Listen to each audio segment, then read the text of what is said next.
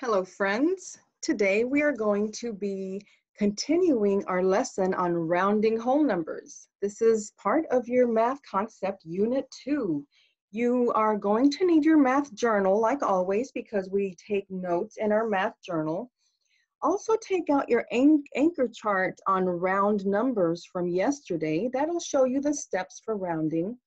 You will want to be using the math toolkit in your math Google Classroom. And of course, you will find everything you need for assignments in your math teacher's Google Classroom. And I will tell you that on this agenda, we're going to be uh, rounding numbers, thousands, place value, 10 thousands place value, 100 thousands place value we will do uh, play a little game about uh, rounding with pirates and then you, there will be two assignments that you're going to turn in.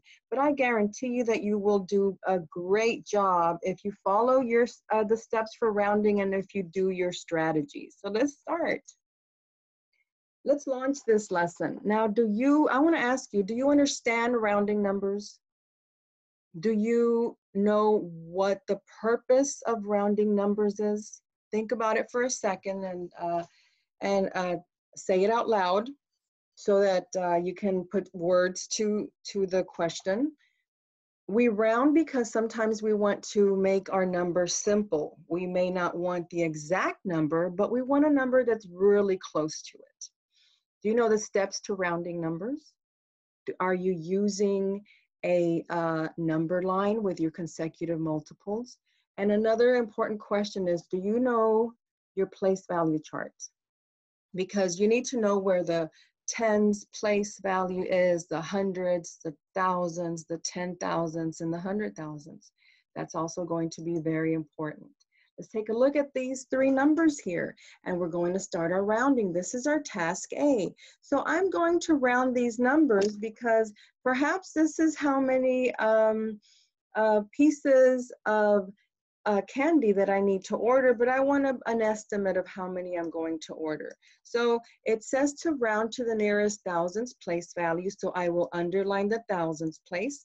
That always tells me what place I'm starting at.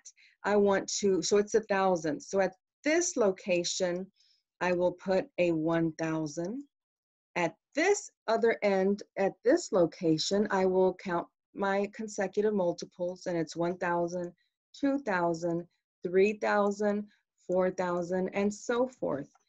My midpoint goes in the middle and I know that my midpoint is be right between the 1,000 and the 2,000. So what do you think, friends? What is our midpoint here? Yes, it's 1,500. So I write that down. I don't want to forget my midpoint. I look to the right of, and my place value is in the hundreds place. It's a two. This number is very important because it's going to tell me what to do with this rounded number. So let me take a look here. If this is 1,000 and this is 1,500, I'm going to start counting. So this is 1,100, a thousand two hundred, ding, ding, ding, it's gonna be right here, a thousand three hundred, a thousand four hundred, a thousand five hundred. And it's not going to go beyond that, but if it did, it would be a thousand six hundred, a thousand seven hundred, a thousand eight hundred, a thousand nine hundred, two thousand. So this number here rounds to 1,000. It's closest to 1,000. Now I would like for you to open up your math spiral and I want you to round the next two numbers. So please go ahead and press pause because your job right now is to draw yourself a number line and round 4,213 to the nearest thousand and the next number 2,314 to the nearest thousand as well. Okay, so I hope you uh, used your strategies when you were rounding. What did this number in the middle round to? Did you underline the thousands place? Look to the next door neighbor place value to the right, which is the hundreds. It's a two. Have you noticed that whenever you uh, look to the right and the digit is a zero, one, two, three, or four, you leave this rounded number in the place value that it is and you don't move it. So right here, my consecutive multiples would be 4,000. And then at this location, it would be 5,000. What is the midpoint? My midpoint is going to be what?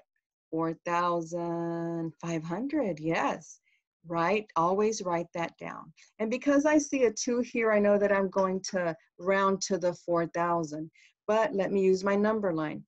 4,000, 4,100, 4,200, and this is the location of my number. It's closest to 4,000. I can keep going. This would be 4,300, 4,400, 4,500.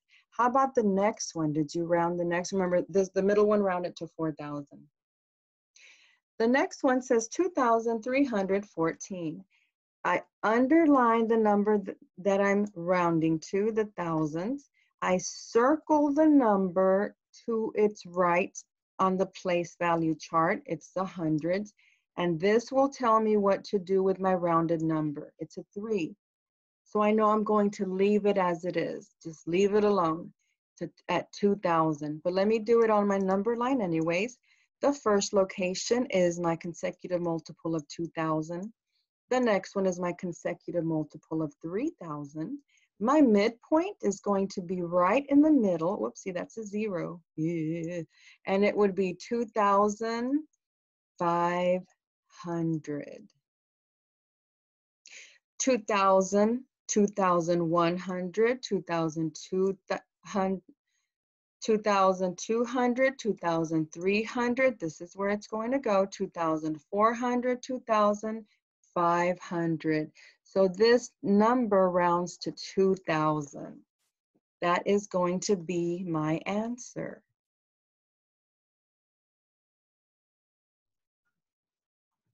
All right, so now let's move on to task B where we have to round, that we're going to be working with this number up here. Do you know how to say this number? Try saying it with me. 852,094. Now we're going to take this same number, but we're going to change it three different ways. And we're going to round it to the nearest thousand, the nearest 10,000, and the nearest 100,000. So help me out with this, boys and girls. If I look at this number, it says round to the nearest thousand. My place value is ones, tens, hundreds, thousands, so I underline it. I look to the place value to the right, which is 100, and I circle it. This number will tell me what to do with my rounded number, the number that I'm rounding, and it's a zero. So I know that if it's a zero, one, two, three, or four to the right of it, I'm just going to leave that digit that I'm rounding as it is. My consecutive multiples right here would be 2,000 and 3,000, but I don't want to forget the 850,000. So this is 852,000 and my other consecutive multiple is 853,000. My midpoint, you guessed it, 852,500. So let's see where this actual number falls on my number line. Even though I know that I'm going to leave this two in the thousands place as it is it, this would be 852,000, 852,100. So it's going to be right here, and this is what I round to, okay? That, and I circled it. That's what it's going to round to. Let's look at another one. How about this one? This one's telling me to round to the 10,000s place. So I underlined the 10,000s place. It has the digit of a five. To the right of it is the thousands place, so I circled it. It's a two. Again, because it's a two, I know that this number that I'm rounding is going to stay the way it is, and I'm not going to change it. It's going to round to, to the uh, 50,000. So I put 50,000 here, 60,000 here. Those are my consecutive multiples. Don't forget the 800,000 as well. And the midpoint would be 55,000 or 855,000. So let's start counting. 850,000, 851,000, 852,000, and this is the location of my actual number, so I'm going to round it to 850,000. Moving on to the next one, says to round to the nearest 100,000. So what do you think I have to do here, friends? I would like for you to stop the video and I want you to round this number to the nearest 100,000. Okay, friends, did you get an answer? What was your answer? And tell me what your steps were. Well, let's see. Nearest 100,000, ones, tens, hundreds, thousands, ten thousands. I underline my hundred thousands. It's the digit eight. I look to the right. The place value is the ten thousands. I circle it. It's a five. I know that that five is going to be at the midpoint. And if it's if this digit is a five, six, seven, eight, or nine, I'm going to round to the larger consecutive multiple. And that tells me that to, with this to this number, I will add one more to the place value. Let's talk about our consecutive uh, multiples. So this would be 800,000.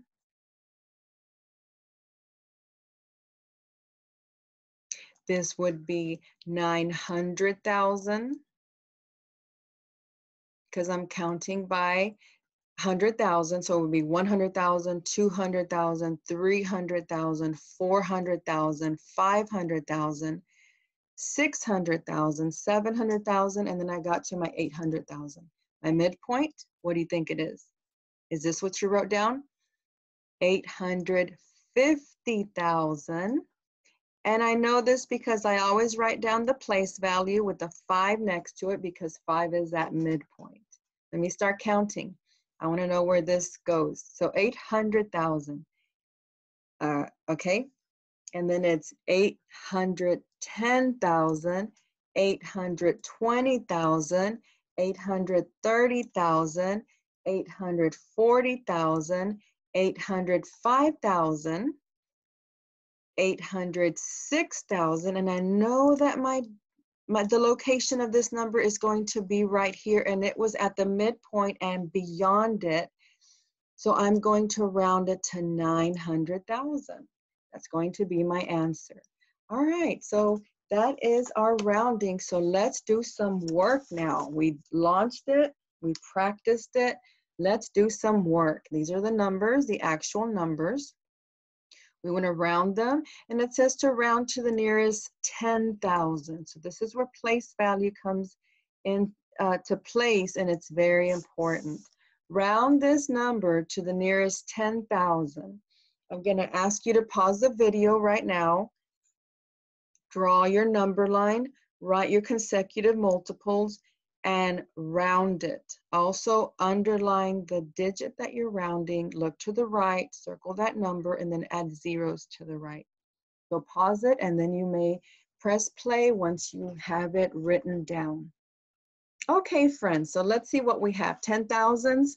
This is my 10,000s place. I underline it. To the right is a thousands, which is a seven, and this seven tells me what to do to my number that I'm rounding, and it's a seven. It's beyond the midpoint. Five, six, seven, eight, nine is beyond the midpoint, so I'm going to add one more to the digit in the 10 thousands place. But let me go ahead and write my consecutive multiples. My consecutive multiples would be 30,000, 40,000, and, you know, if it was a different number, but it, in the thousands, it would continue with 50,000, 60,000, 70,000 like that. What's my midpoint, friends? Help me. It would be what? Yes, 35,000. That's the midpoint between 30,000 and 40,000. Let me start counting. Here I go. So 30,000, 31,000, 32,000, 33,000, 34,000, 35,000, keep going, 36,000, it already passed the midpoint, 37,000. This is the location of my number, 38,000, 39,000, 40,000. It passed the midpoint, it's going to round to 40,000. And that's how I do my rounding, two different ways, on a number line and with my underlining and looking to the right and deciding whether I add one more digit to the number I'm rounding or not. Let's continue. Okay, round this number to the nearest 10,000. So I want you to pause this right now and in your math journal, please round it to the nearest 10,000. Press pause and write in your journal. Okay, boys and girls, I'm glad you're back. So now we're, let's see what your answer was. Did you underline the 10,000s place? I hope you did. Did you circle the place value to the right, which is the thousands? It's a two. This will tell me what to do to the number that I'm rounding. It's less than the midpoint because it's less it's less than five. So I'm I'm gonna keep this three, this 30,000 the same. I'm predicting, I'm making an estimate. My consecutive multiples are 30,000 and 40,000.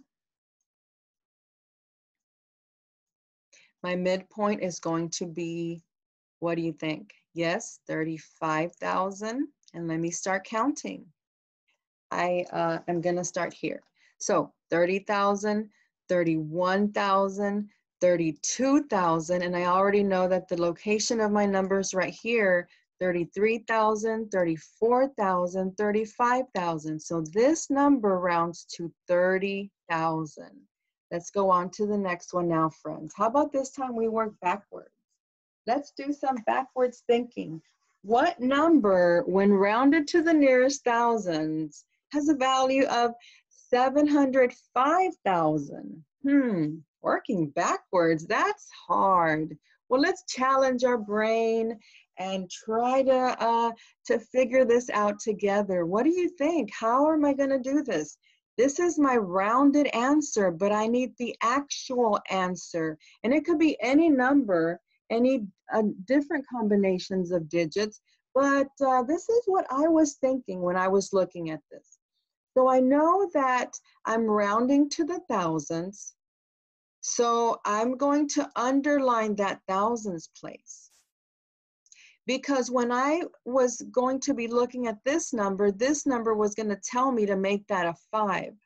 So in my brain, I was thinking maybe uh, I could start here at 4,000. And over here, we would have 5,000. Uh, you know, and my midpoint would be 4,500. Remember, I'm working backwards. So this is tough, and you're going to have to work backwards when you do your assignments. Oops, but don't forget that this isn't just 4,000. Think of it as money. It's actually 704,000, 704,500, and 705,000. We want to make sure we don't forget the other place values. So now, if I was to round it and this was going to be my answer, 705,000, I would have to pick a number that's on that's after the midpoint. So what do you think, friends? What number should I pick? 704,000 500, 704,600, 704,700. Do you like that one? Yeah? That would be a good one to use, huh? And it would round uh, forward. So let's go with that one. Oh, actually, I want another one. How about, all right, let me write it down. Seven, hundred, for 500, 600, we would put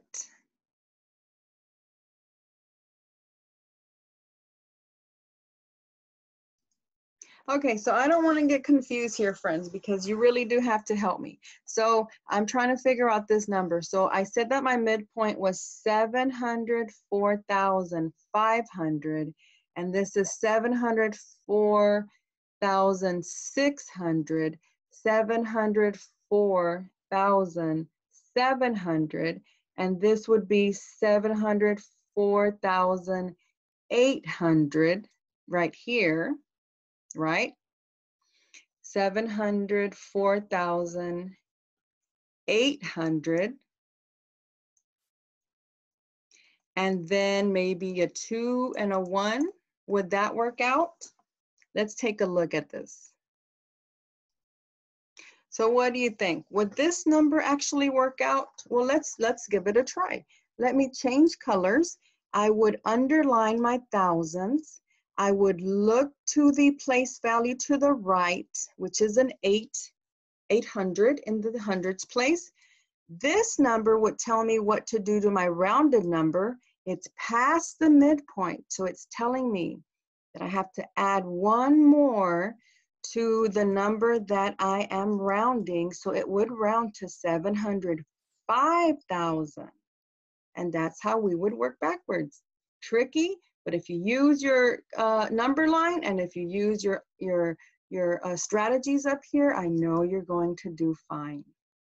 How are you doing? You doing good? Or you're going to like this next rounding game. Let me go ahead and show you this rounding game here so that you can play it. Um, share screen. So you can play it and have a little bit of fun while you are rounding numbers. It says click here to start the treasure hunt. Okay, I'm gonna click it.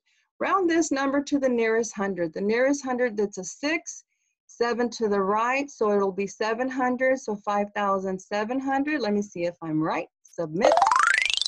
Ooh, that was loud. Sorry about that. So you may want to turn the volume down.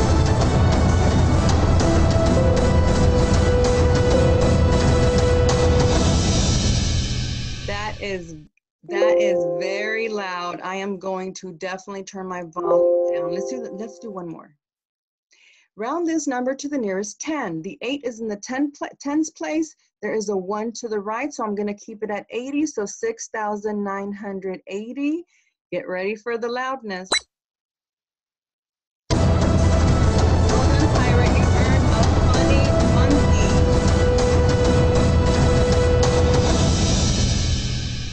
Anyways, this is what you're going to be doing. This is the little game, the little pirate game that you're going to be playing. I do want to tell you that you have two assignments to turn in today. You will complete and turn in the one called rounding problems and you will complete and turn in the cool down as well. I want to show you what they look like. This is the rounding problem and it tells you what to round to. Here you're going to work backwards. The other one is the cool down. Now you're only going to be using this one great big number and you're gonna round it here to the tens place, round it here to the hundreds place, as so, and then you answer the next two questions and that's going to be it for today's lesson. So I want you to remember to use your number line, okay, very important. Circle that place value that you're going to round. Look to the right and circle that digit. No, no, no. You underline, let me change this real quick. Oh, it's right here, okay. Hold on, friends, hold on. Oops. Okay, I fixed it, yay. Whenever there's a mistake, I try to fix it right away. So, tips, use your number line. Underline the place value that you're rounding. Circle, look to the right and circle that digit. Uh, that tells you whether you're going to add one more to your rounded uh, digit or not, and then add zeros to the right as you do that. You will do great. I, I know you will. Now, your notes are important. They show you the steps to round numbers. Use your notes, use your anchor chart, use your toolkit. Always use your strategies. They help you understand why rounding works. Well, this is the end of our lessons, boys and girls. Now it's time for you to go to your teacher's Google Classroom, the math one, and you're going to do the Pirates rounding game. You will do the rounding problems that you're going to turn in, and then the cool down as well. So I hope you do very well and have a great day, Tigers.